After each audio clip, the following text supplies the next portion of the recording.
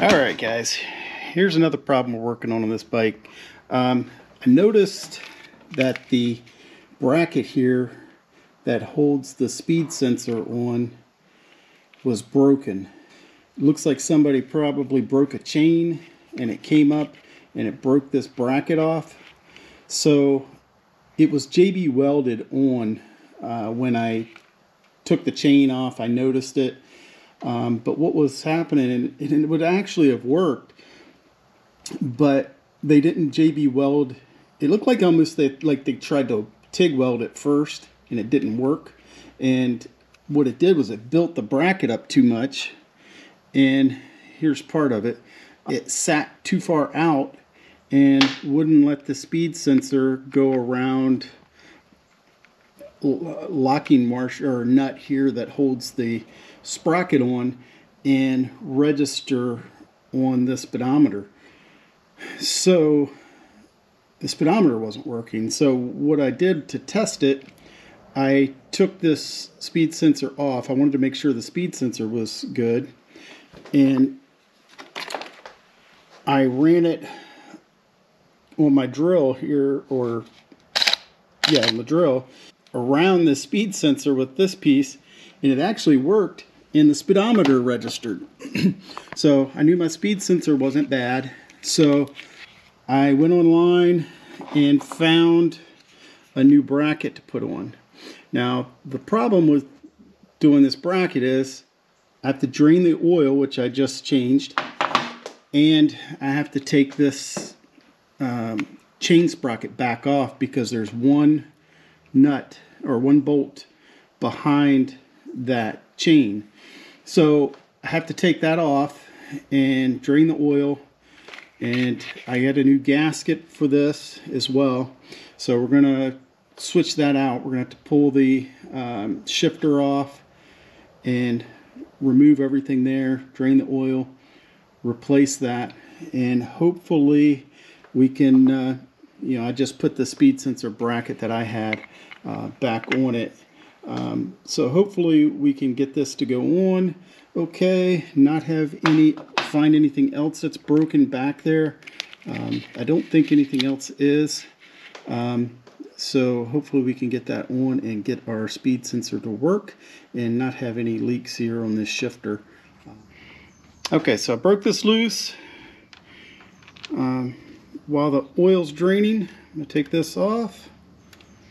Get my fingers out of the way.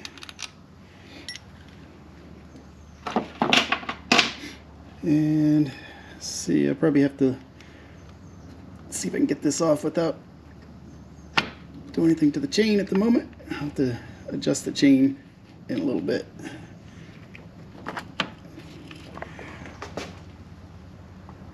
Alright, so now we can see the one screw hole back there. It's, it's actually a Phillips screw. So I'm going to get my impact driver and see if we can get that out. Okay, I don't know if you can see in there, but I used my impact driver. Got the screw broken loose, taken out.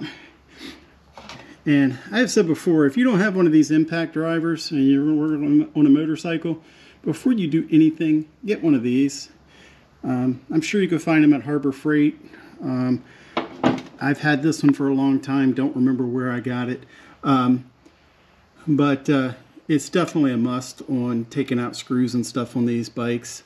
Um, just save you a lot of headache. All right, so I'm gonna take the shifter off next. Um, looks like it's probably a 10 millimeter. So I'm gonna take that off and then we'll start taking the rest of these uh, bolts out that hold this piece on. All right, just pulled the cover off. You can see here where the shifter mechanism sits in there. And uh, so we're going to pull that gasket off of there, clean that up a little bit. It looks like some sludge or something inside. Actually, it looks like RTV. Looks like somebody RTV'd this gasket up um, or smeared some around it so that it didn't leak. Um, looks like it took a pretty good shot. I mean, to break it up like that. Um, So it's another reason you maintain your chains and uh, you know do routine maintenance on your bike. Um, this is exactly why here. So uh, let's get this gasket out of the way here. Set up. See the gasket is ripped. So I'm going to clean this up a little bit and get ready to put the new piece together on it. Alright guys, I wanted to show you something real quick. I'm sure if you guys are like me and you're working on something, you like to see how it works. Well, here's how the shifter works. It has those little forks that go in there and you click down and you click up and that's how it shifts. Um, so it's kind of cool to see how the little mechanism works in there and um, ratchets around and you know shifts through each of the gears. So then if you ever have any problems shifting, sometimes you know what to look for if you kind of know how it works. So uh, I'm going to clean this up and we're going to get the gasket ready. Um, it's actually, I didn't realize it until I started working on it, it's actually missing a couple bolts. Um, so I'm going to have to try to go out and see if I can match up some bolts for this um, and uh, you know then finish putting this back together. If not I can go ahead and put it back together because the bolts that it's missing are the upper bolts up here and I can get those in with uh, you know later on if I need to if I can't find those bolts and I have to order them I can just take this cover off replace those two upper bolts and be good to go. Okay so I got the cover up there for now. I have to get two bolts, one here and one here. I'm taking the bolt out of this one up here to match up with me. Hopefully we can find one at the hardware store or somewhere that will work and that will have the same thread pitch and everything um, and the same length. So that's what we need and uh, we'll be ready to button this back up be able to put everything else back together. Let's get this thing finished. All right, be back. All right, we got the bracket back on. I went and got some bolts here for the two that were missing. Got I put the Speedo bracket back on. So now we can put the Speedo sensor back in and get that little screw in there. So I put this screw in and that brings the speedo sensor so much closer to that piece that it needs to read than what it was. Um, I mean, it's no surprise that it wasn't picking it up. So um, I'm going to put this screw back on. I got the uh, piece bent down here. Uh, that retorqued. We'll have to adjust the chain when we get it off the lift.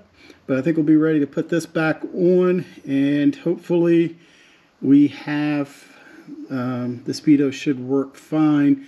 Now we are sorting out another problem with this bike. I think it has a bad um, throttle body. Um, the piece right here, the solenoid that runs, the, well I guess it's this one up here that runs the secondary um, uh, butterflies is not working properly and I'm getting a code 62 I believe it was which is saying this sensor is not reading.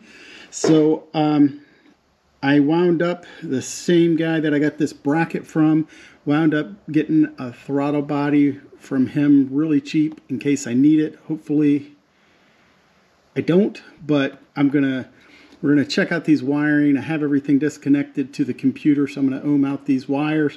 And um, make sure they're um, you know they're picking up. I did notice here that there are some wires that had looked like they got cut at some point, um, but they look like they're all connected well. So we're going to check this out here in a little bit. got a lot of other stuff going at the same time. So where we're at right now, we're going to button this up, get this screw back in, and the whole wiring deal here for the throttle bodies will probably be in another video. But um, right now we're getting this wrapped back up. We're going to put the oil back in the bike and uh, get all this wrapped up for now. All right, cover's back on. So it should be good to go.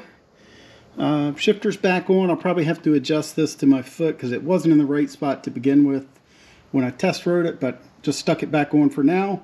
Um, and one other thing I wanted to say was down in this cover that was broken, you can still see a piece of metal sitting in there. Um, so all this metal was floating around in here at the bottom. I don't think much oil gets in this. Um, I don't even know how the oil really gets into it, but because um, I don't see any holes anywhere for the oil to go through, but it does have some oil in there. Uh, that couldn't have been good for things, but luckily it was all stuck down in the bottom. It didn't look like it was anything floating around um, that could have gotten back into the oil system. Um, so yeah, it uh, took a beating, and uh, you know, again, do your chain maintenance. It's worth it. All right, so we're gonna uh, readjust the chain, put the oil back in the bike. I'm not gonna record that because uh, I'm not gonna do the final adjustment to the chain right now. I'm just gonna tighten everything back up. And I've already gone over how to put the oil back in the bike, or put oil in the bike. So yeah, so that's where we're at for now. Thanks for watching. Please like, subscribe, and um, be more to come to this Ninja build.